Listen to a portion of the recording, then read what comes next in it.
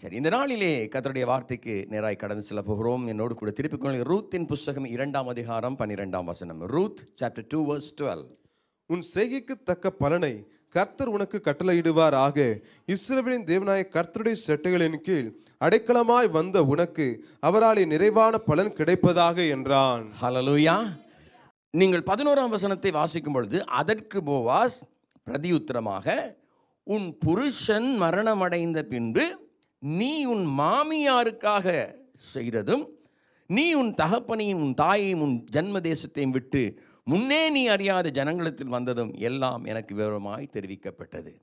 அப்போ எதனால் இந்த நிறைவான பலன்? ரூத்தம்மாவுக்கு என்ன சொல்லப்பட்டிருக்குது?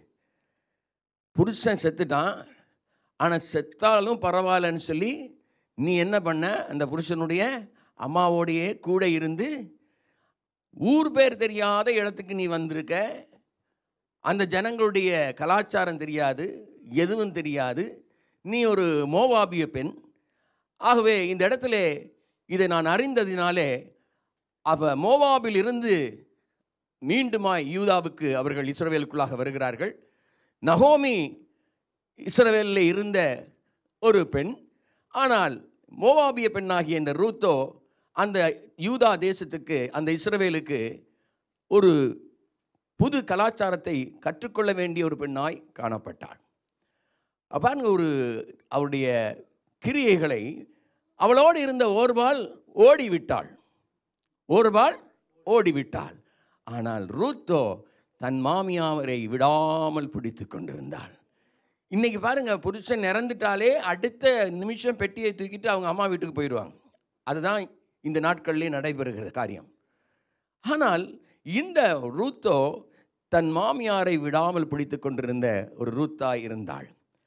ஆகவேதான் நீ மோவாவிடத்திலிருந்து நீ திரும்ப இந்த இஸ்ரவேலின் தேவனாகிய கத்தருடைய செட்டைகளின் கீழ் நீ இஸ்ரவேலுக்குள்ளாக நீ வந்த பெண்ணாய் இருப்பதினாலே உனக்கு அவராலே நிறைவான பலன் கிடைக்கும். ஹலலுயா அன்பாளர்களே அவருடைய செட்டைகள் நமக்கு பாதுகாப்பை தரும் செட்டைகள். அவருடைய செட்டைகள் சுகத்தை தரும் செட்டைகள். அவருடைய செட்டைகள் இழைப்பாறுதலை தரும் செட்டைகள். அவருடைய செட்டைகள் நமக்கு சமாதானத்தை தரும் செட்டைகள். அவருடைய செட்டைகள் நமக்கு செழிப்பை தரும் செட்டைகள். அவருடைய செட்டைகள் நமக்கு விடுதலையை தரும் செட்டைகள். இந்த செட்டைகளின் கீழ்தான் நிறைவான பலன் உண்டு. ஆமேன். ஹலலுயா அவை இன்றைக்கு கத்தர் எதிர்பார்க்கிற காரியம் இஸ்ரவேலின் தேவனாகிய கத்தருடைய செட்டைகளின் கீழ் நீங்கள் அடைக்கலம் புகுவீர்களானால் கத்தர் அநேக ஆசீர்வாதங்களை அவர் வைத்திருக்கிறார். இந்த நாளினுடைய செய்தியின் தலைப்பு செட்டைகளின் கீழ் கிடைக்கும் அடைக்கலம். அவருடைய செட்டைகளின் கீழ் கிடைக்கும் அடைக்கலம். வாசிங்கள் ரெண்டு சாமுவேலின் புத்தகம் இருபத்தி ரெண்டாம் அதிகாரம் மூன்றாம் வசனம். தேவன் நான் நம்பியிருக்கிற துருகமும் என் கேடகமும் என் ரட்சணிய கொம்பும் என் உயர்ந்த அடைக்கலமும் என் புகலிடமும் என் இரட்சகருமானவர் என்னை வல்லடிக்கு நீங்களாக்கி ரட்சிக்கிறவர் அவரே. ஆமேன். அன்பானவர்களே நாம் நம்பி இருக்கிற தேவன் நம்மை உயர்ந்த அடைக்கலத்தில் வைத்து நம்மை வல்லடிக்கு நீக்கலாக்கி ரட்சிக்கிறவர் வல்லடி வயலன்ஸ் இந்த உலகத்தை சுற்றி பார்க்கும் பொழுது போகிற போகிற இடங்கள்லாம் வயலன்ஸ் இருக்குது. அப்படி தானே எல்லா இடத்துலையும் வயலன்ஸ் இருக்குது. இதன் மத்தியில் தான் தேவன் நம்மை பாதுகாப்பாய் நடத்தி கொண்டு வருகிறார். ஆகவே இந்த ரெண்டாயிரத்தி இருபத்தி ஓராம் ஆண்டிலே கர்த்தர் சொன்ன பிரகாரம் உங்களையும் என்னையும் தேவன் சிற்படுத்தி என்ன செய்வார் அடுத்தது? சிறப்படுத்தி பலப்படுத்தி நிலை நிறுத்துவார் என்னை நிலை நிறுத்துவார் என்று விசுவாசம் உள்ளவர்கள் ரெண்டு கைகளை தட்டி தன்னுடைய நாமத்தை மகிமப்படுத்துங்க. ஆமென். அவர் இந்த வருடத்திலே எல்லாம் வல்லடிக்கும் உங்களை நீக்கி ரட்சிக்கிற தேவன். ஹலலியா உங்களை சுற்றி எத்தனை விதமான அந்த வயலன்ஸ் என்று சொல்லப்படுகிற ஒரு பாதகமான காரியங்கள் உங்களுக்கு எதிராக சதித்திட்டங்கள் போடப்பட்டாலும் அதில் இருந்து தேவன் உங்களையும் என்னையும் பாதுகாப்பார். ஆமேன் வாசிங்கள் சங்கீதங்களின் புஸ்தகம் அறுபத்தி ரெண்டாம் சங்கீதம் ஆறாம் வசனம். அவரே என் கண்மலையும். அவரே என் கண்மலையும். என் ரட்சிப்பும். என் ரட்சிப்பும். என் உயர்ந்த அடைக்கலமும் என் உயர்ந்த அடைக்கலவுமானவர் நான் அசைக்கப்படுவதில்லை. நான் அசைக்கப்படுவதில்லை. சொல்லுங்க. கை இப்படி வச்சுட்டு நான் அசைக்கப்படுவதில்லை. ஹalleluya நாம் அவருடைய உயர்ந்த அடைக்கலத்தில் இருப்பதினாலே அசைக்கப்படுவதில்லை. சொல்லுங்க. பெருங்காற்றடிச்சாலும் பெரு வெள்ளம் மோதினாலும் பயங்கரமான இடி விழுந்தாலும் நான் அசைக்கப்படுவதில்லை. சரி வாசிங்க சங்கீதம் தொண்ணூற்றி ஒன்று பதினான்கை. அவன் என்னிடத்தில் வாஞ்சியா இருக்கிறபடியால் அவனை விடுவிப்பேன். என் நாமத்தை அவன் அறிந்திருக்கிறபடியால் அவனை உயர்ந்த அடைக்கலத்திலே வைப்பேன். அவன் அறிந்திருக்கிறபடியால். எதை அறிந்திருக்கிறபடியால்? என் நாமத்தை. நீங்களும் நானும் அவருடைய நாமத்தை தரித்தவர்கள். ஆக அவர் நாமத்தை தரித்திரவர்கள் தரித்திருக்கிறவர்கள் அவருடைய நாமத்தை அறிந்திருக்கிறபடினாலே அவர் உங்களையும் என்னையும் உயர்ந்த அடைக்கலத்தில் வைப்பார். ஆமென். ஹalleluya. அன்பான தேவச்சனமே வாசியுங்கள் நீதிமொழிகள் பதினாலு இருபத்தி ஆறு. யாருக்கு அடைக்கலம் கிடைக்கும் என்று சொல்லி பார்க்கலாம். கர்த்தருக்கு பயப்படுகிறவனுக்கு திட நம்பிக்கை உண்டு. அவன் பிள்ளைகளுக்கும் அடைக்கலம் கிடைக்கும். ஆமென். கத்தருக்கு பயப்படுகிறவனுக்கு அன்பு தேவச்சனமே பயத்தால் தான் செட்டைகளுக்குள் கீழ் அடங்கி இருக்க முடியும். அந்த செட்டைகளுக்குள்ளே இருக்கணும்னா தெய்வ பயம் இருக்க வேண்டும். அன்பானவர்களே இன்றைய செய்தியினுடைய தலைப்பு செட்டைகளின் கீழ் கிடைக்கும் அடைக்கலாம். முதலாவது நாம் தியானிப்போம். உபாகமத்தின் புஸ்தகம் முப்பத்தி மூன்றாம் அதிகாரம் இருபத்தி ஏழாம் வசனம். உபாகம் முப்பத்தி மூன்று இருபத்தி ஏழு. அனாதி தேவனே அடைக்கலம். தேவனே உனக்கு அடைக்கலம். அவருடைய நித்திய புயங்கள் உனக்கு ஆதாரம். அவர் உனக்கு முன்னின்று சத்துருக்களை துரத்தி அவளை அழிந்து அவர்களை அழித்து போடு என்று கட்டளையிடுவார். பாருங்க நமக்கு அடைக்கலமா இருப்பவர் யார் தெரியுமா? அநாதி தேவன். அவருடைய நித்திய புயங்கள் நமக்கு ஆதாரமா இருக்கிறது. அன்பான தேவப்பிள்ளைகளே இன்னைக்கு அவர் சொல்றார் உனக்கு முன் நின்று சத்துருக்களை துரத்தி அவர்களை அழித்து போடு என்று கட்டளையிடுவாராம். அனாதி தேவன் நமக்கு அடைக்கலமாக இருக்கிறார். அவருடைய நித்திய புயங்கள் நமக்கு எப்பொழுதும் ஆதாரமாக இருக்கிற சொல்லுங்க ஆதாரமாக இருக்கிறது. பாருங்க இந்த இருபத்தி ஓராம் ஆண்டு தேவன் நம்மோடு இருக்கிறார் என்பதை நிரூபிக்கும் ஆண்டு. எத்தனை விசுவாசிக்கிறீங்க? அதுதான் ஆதாரம். ஏன்னா நம்மோடு இருப்பவர் இயேசு கிறிஸ்து. ஹலலுயா நல்ல கவனிங்க சத்துருக்களுக்கு முன்பாக அவர் நம்மை அடக்கலமாக இருக்கிறார் என்பதை அவர் காண்பிப்பார். நல்ல கவனிங்க அவர் கேடகமாய் இருந்து அவர் சத்துருக்களை துரத்தி அழித்து போடுவதை உங்கள் சொந்த கண்களும் அந்நிய கண்களும் பார்க்கும் இயேசுவின் நாமத்திலே. ஹலலுயா வாசிங்க சங்கீதம் ஐம்பத்தி ஒன்பது ஒன்றை வாசிப்போம். என் தேவனே என் தேவனே என் சத்துருக்களுக்கு என்னை என் தப்புவியும் சத்துருக்களுக்கு என்னை தப்புவியும். என் மேல் எழும்புகிறவர்களுக்கு என்னை விலக்கி. என் மேல் எலும்புகளுக்கு என்னை விலக்கி. உயர்ந்த அடைக்கலத்திலே வையும். உயர்ந்த அடைக்கலத்திலே வையும். தாவீது இந்த இடத்துல என் தேவனே என் சத்துருக்களுக்கு என்னை தப்புவியும். என் மேல் எழும்புகிறவர்களுக்கு என்னை விலக்கி உயர்ந்த அடைக்கலத்தில் வையும். இந்த நாட்களிலே பலர் உங்களுக்கும் எனக்கும் விரோதமாக எழும்பி இருக்கிறார்கள் அப்படிதானே குடும்பங்களுக்கு விரோதமாக தனிப்பட்ட வாழ்க்கைக்கு விரோதமாக உங்கள் வேலை ஸ்தலத்திலே உங்கள் வியாபார ஸ்தலத்திலே உங்கள் சமுதாயத்திலே குடும்பங்களிலே நமக்கு விரோதமாக எழும்புகளுக்கு தேவன் சொல்லுகிறார் நம்மை விலக்கி அவர் உயர்ந்த அடைக்கலத்தில் வைப்பார். அன்பான தேவ பிள்ளைகளே இன்னைக்கு நான் பார்த்து கொண்டிருக்கிற இந்த தலைப்பு என்ன தெரியுமா? ஆதாரமாய் வரும் அடைக்கலம். ஹலலுயா ஆதாரமாய் வரும் அடைக்கலம். அந்த ஆதாரம் என்ன தெரியுமா? இயேசு கிறிஸ்து நம்மோடு இருக்கிறார். இயேசு கிறிஸ்து நம்மோடு இருக்கிறார் என்பதை இதுதான் ஆதாரம் என்று சொல்லி ஜனங்கள் பேசுவார்கள் அன்பானவர்களே. நல்ல கவனிங்க இன்று எத்தனை பேர் தாவிதை போல என் மேல் எழும்புகிற மனுஷர்களுக்கு எனக்கு விரோதமாக எழும்புகிற காரியங்களுக்கு என்னை விலக்கி தப்புவித்து உயர்ந்த அடைக்கலத்து வையம் என்று சொல்லி இருக்கிறீர்கள். இன்று தேவன் உங்கள் சத்துருக்களுக்கு முன்பாக எழும்பி யுத்தம் செய்ய போகிறார். எத்தனை பேர் சுவாசிக்கிறீங்க? ஹலலுயா சில பேருக்கு வீட்டாரே சத்துரு. அவங்களே பற்ற வச்சிருவாங்க வீட்டில் ஆனால் ஒன்றும் தெரியாத மாதிரி இருப்பாங்க. ஹல்லோயா அன்பான தேவ பிள்ளைகளே சிலருக்கு வேலை ஸ்தலத்திலே சத்துரு எழும்பியிருக்கிறது. சிலருக்கு வசிக்கிற பகுதியிலே சத்துரு எழும்பியிருக்கிறான். சிலருக்கு அயல் வீட்டார் சத்துரு.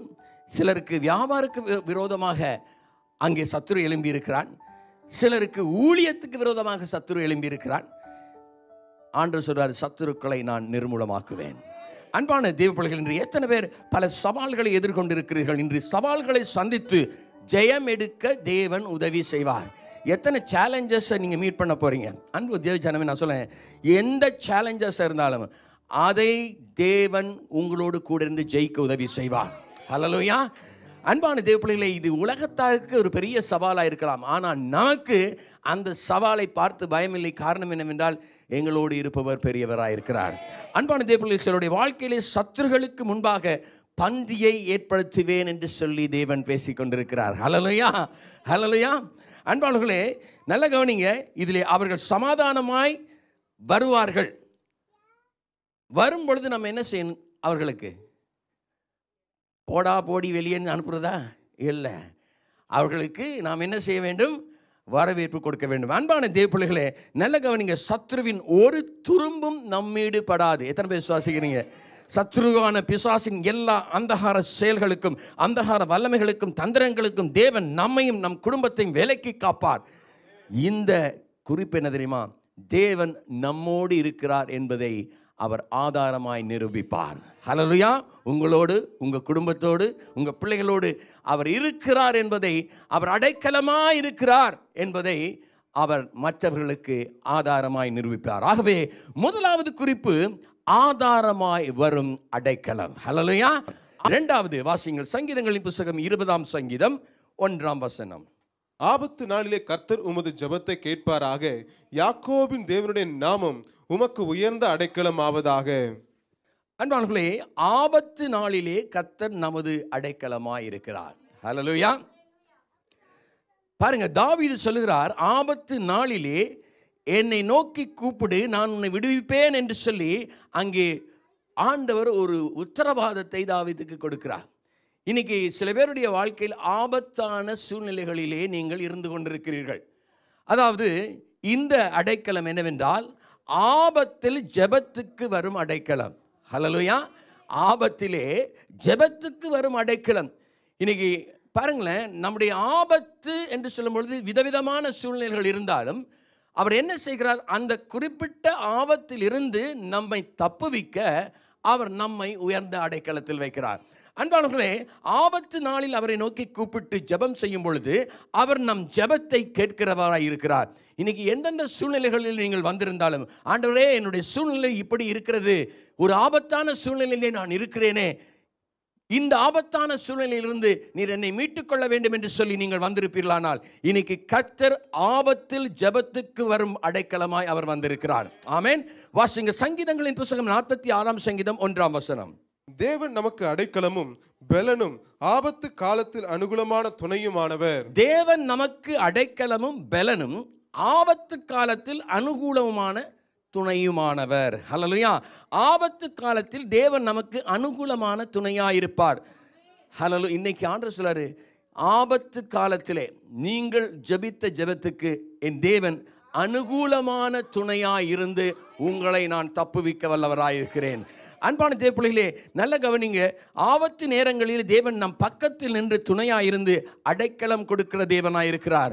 தேவ பிள்ளைகளுடைய வாழ்க்கையிலே எந்த ஆபத்துகள் காணப்படுமானால் அல்லது ஆபத்தான சூழ்நிலைகளை நீங்கள் எதிர்கொண்டு கொண்டிருப்பீர்களானால் இன்னைக்கு தேவன் ஆபத்தில் ஜெபத்துக்கு வரும் அடைக்கலமாக இறங்கி வந்து உங்களை உயர்ந்த அடைக்கலத்தில் வைப்பார். என்ன தெரியுமா செய்ய போறாரு? சேஃப் ஜோனுக்கு கொண்டு போறாரு. ஹலோ டேஞ்சர் ஜோன்ல இருந்து சேஃப் ஜோன் இன்றைக்கி யார் யார் டேஞ்சர் ஜோனில் இருக்கிறீங்களோ அவர்களை எல்லாம் சேஃப் ஜோனுக்கு கொண்டு வர்றாரு. ஹலலுயா வைல்ட் கார்டு கிடையாது அதில். சொல்கிறது புரியுதா நான் சொல்கிறது என்ன செய்கிறாரு டேஞ்சர் ஜோன்லேருந்து உங்களை சேஃப் ஜோனுக்கு கொண்டு ஆகவே கத்தர் நம்மை அந்த பாதுகாப்பான இடத்துக்கு கொண்டதற்காக ரெண்டு கரங்களை தட்டி தேவனுடைய நாமத்தை மகிமைப்படுத்துங்க. அன்பான தேவப்பிள்ளைகளே நீங்கள் பாதுகாப்பாக இருக்கிறீர்கள் என்று சொல்லி தேவன் உங்களுக்கு ஒரு உத்தரவாதத்தை கொடுக்கிறார். அன்பான தேவச்சனமே இன்று உங்களை பயமுறுத்தி கொண்டிருக்கும் ஆபத்து எது? உங்களுடைய வேலையாக இருக்கலாம் உங்களுடைய வியாபாரமாக இருக்கலாம் பொருளாதாரமாக இருக்கலாம் சரீர நிலையாக இருக்கலாம் ஆண்டவரை சரீரத்திலே காணப்படுகிற சில வியாதிகளாக இருக்கலாம் எதுவாக இருந்தாலும் தேவன் ஜெபத்துக்கு பதில் தந்து உங்களுக்கு எந்த ஆபத்தும் நேரிடாதபடி பாதுகாப்பார். ஹலோயா இன்னைக்கு நம்முடைய சிந்தை தான் நமக்கு பிரச்சனை. இப்படி ஆகிவிடுமோ இப்படிப்பட்ட ஒரு சூழ்நிலை இருக்கிறதே. ஆகவே நான் ஆபத்தான சூழ்நிலைக்கு கடந்து சென்று கொண்டிருக்கிறேன் என்று சொல்லி இருக்கும் தேவ பிள்ளையே கத்தர் உங்களுக்கு அனுகூலமான துணையாக இருந்து உங்களை ஆபத்தில் இருந்து விடுவிக்கிறவராய் வந்திருக்கிறார். ஹலோலியா அன்பு தேவத்தின் எத்தனை பேருடைய குடும்ப அங்கத்தினர்கள் ஆபத்தான சூழ்நிலையிலே மருத்துவமனைகளிலே அல்லது வீடுகளிலே அவர்கள் இருப்பார்கள். இந்த நேரத்தில் கத்தர் அவருடைய மரணப்படுக்கையை தொடுகிறார். எத்தனை பேர் விசுவாசிக்கிறீங்க? இன்னைக்கு கத்தருடைய கரம் அவர்களை எழுப்ப போகிறது. அன்பு தேவச்சனமே மறித்து போய் கொண்டிருக்கிற சரீர உறுப்புகள் தேவன் உயிர்ப்பிக்கிற தேவனாய் இருக்கிறார் அது மாத்திரமல்ல புதிய உறுப்புகளை தேவனால் உருவாக்க முடியும். எதமே விசுவாசிக்கிறீங்க? பழுதடைந்து கொண்டிருக்கிற உறுப்புகளுக்கு பதிலாக தேவன் எனக்கு புதிய உறுப்பை கொடுத்தார் என்று விசுவாசிக்கிறவர்கள் ரெண்டு கைகளை தட்டி தேவனுடைய நாமத்தை மகிமப்படுத்துங்க. ஹலலூயா கத்தருடைய வல்லமை இறங்கி கிரியை செய்து கொண்டிருக்கிறது.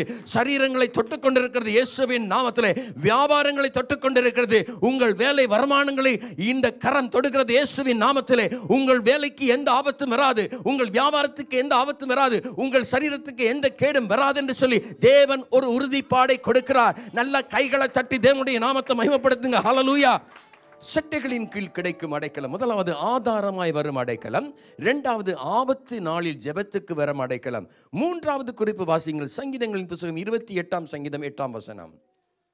கர்த்தர் அவருடைய பலன் அவரே தாம் அபிஷேகம் பண்ணினவனுக்கு அரணான அடைக்கலமானவர்.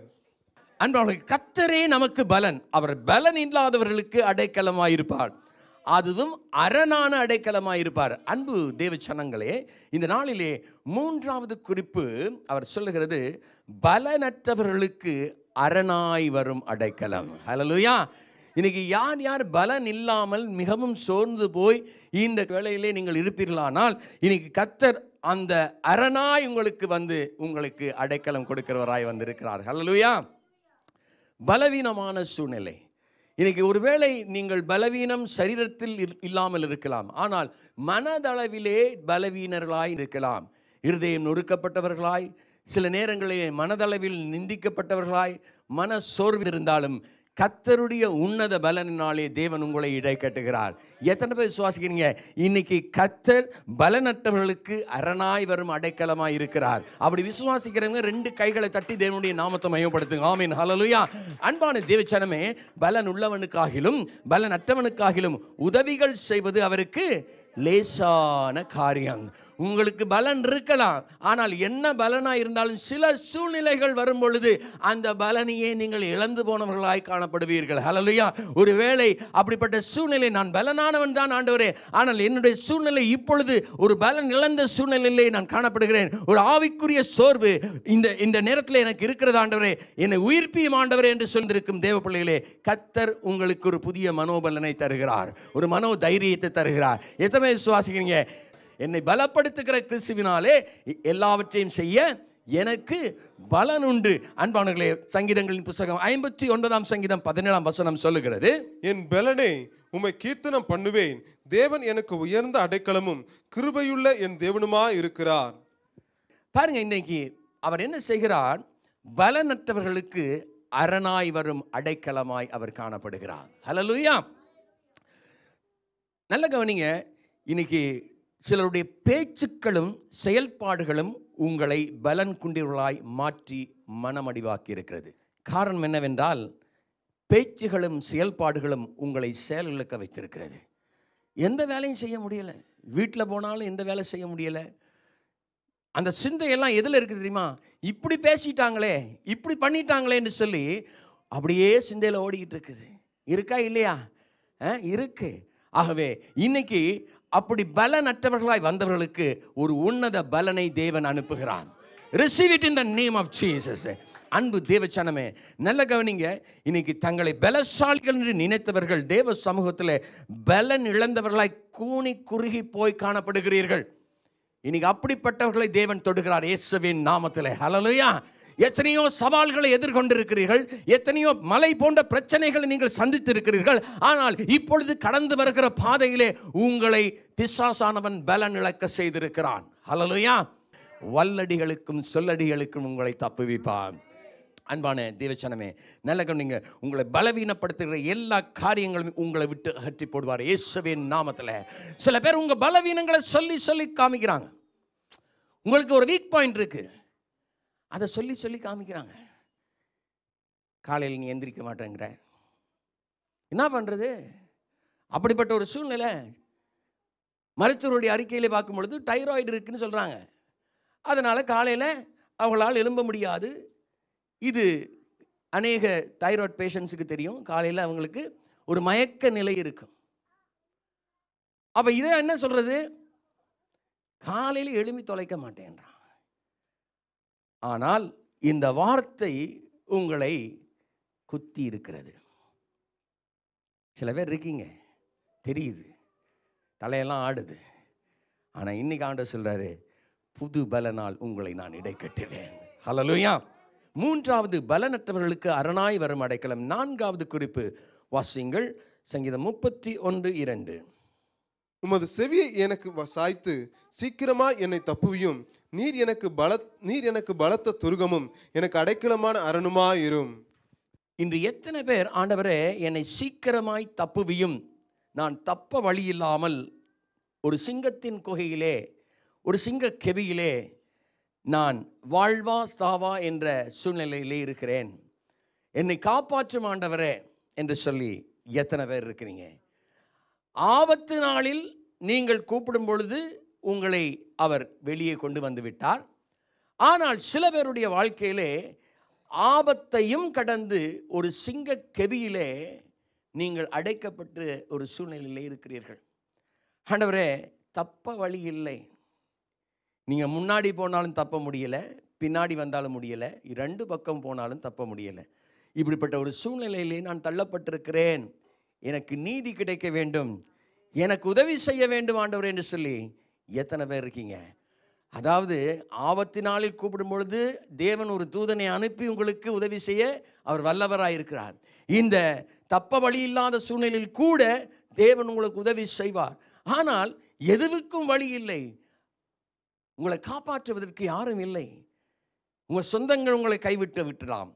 உங்கள் குடும்பத்தார் உங்களை கைவிட்டு இருக்கலாம். ஆனால் இந்த நேரத்திலே சர்வ வல்லமை உள்ள தேவனுடைய வல்லமை இன்றைக்கு வெளிப்பட போகிறது. எத்தனை விசுவாசிக்கிறீங்க?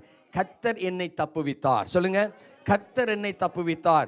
கத்தர் என்னை தப்புவிக்க வைத்தார். ரெண்டு கைகளை தட்டி தேவனுடைய நாமத்தை மகிமைப்படுத்துங்க. ஹலலூயா அப்படிப்பட்ட சிங்க குகையிலிருந்து உங்களை தப்புவிக்க அடைக்கலமாய் வந்திருக்கிற தேவன் இந்த நாளிலே வந்திருக்கிறார்.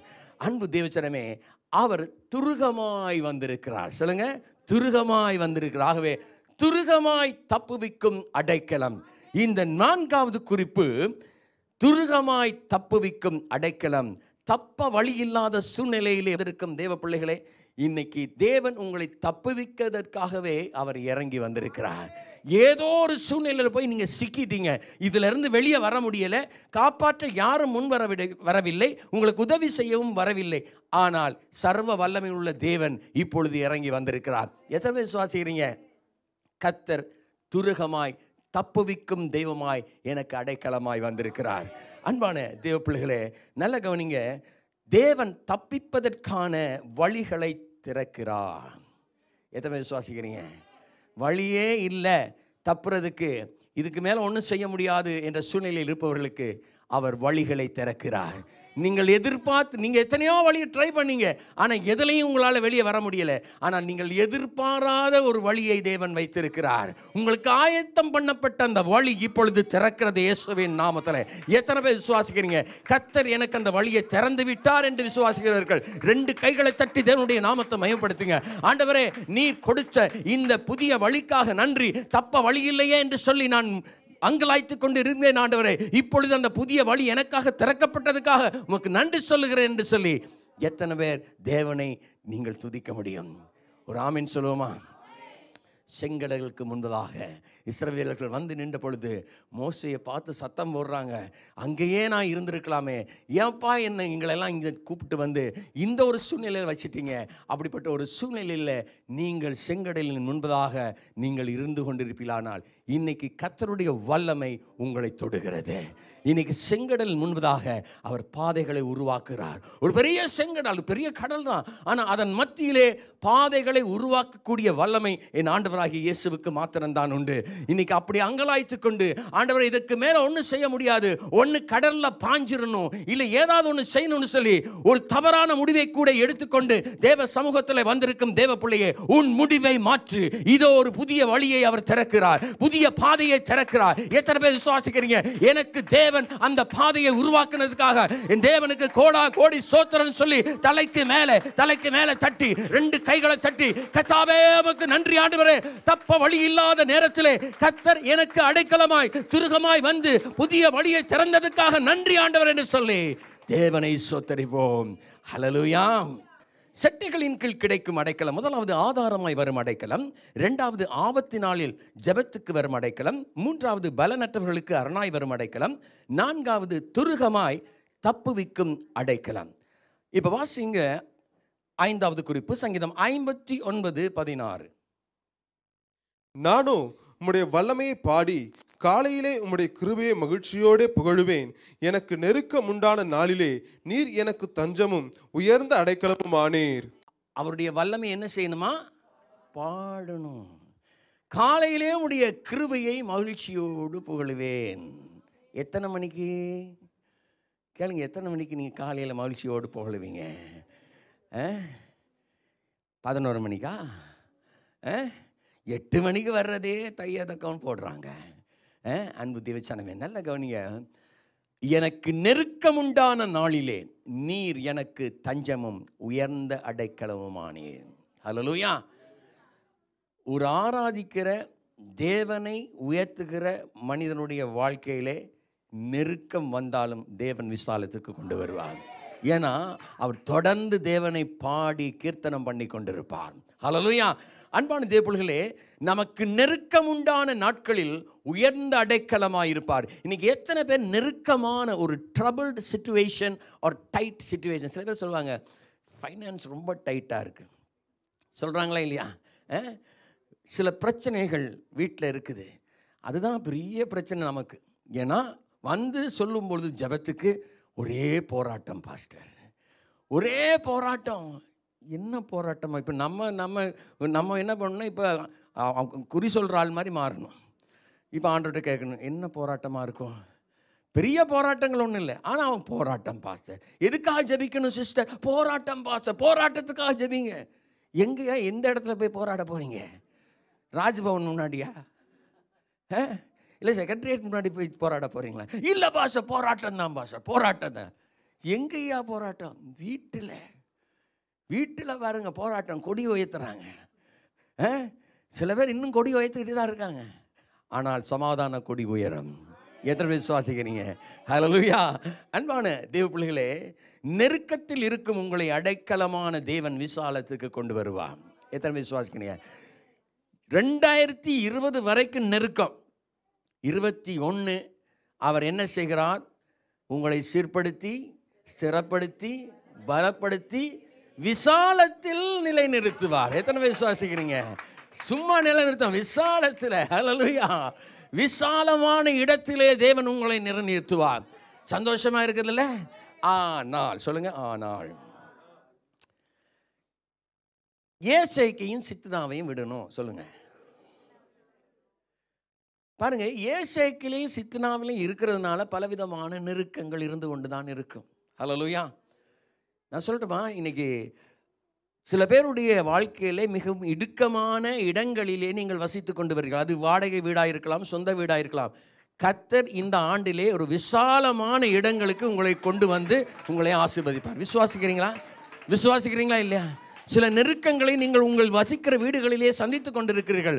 பலவிதமான சூழ்நிலைகள் அயலாருடைய சூழ்நிலைகள் இன்னும் அங்கே வீடுகளிலே காணப்படுகிற சில பிரச்சனைகள் நிமித்தமாக வீடு சரியாக கட்டப்படவில்லை வீட்டிலே ஒழுகுது இன்னும் பலவிதமான காரியங்கள் ட்ரைனேஜ் அடைச்சிருக்குது இன்னும் பலவிதமான காரியங்கள். இதனால் ஆண்டவரே என்ன பண்ணுறேன்னு தெரியல வேற இடத்துக்கும் போக வழியில் இன்னைக்கு ஆண்டவர் சொல்கிறாரு சித்தனாவையும் ஏசைக்கையும் விட்டு உங்களை ரெகவோத்துக்கு கொண்டு வருவேன்.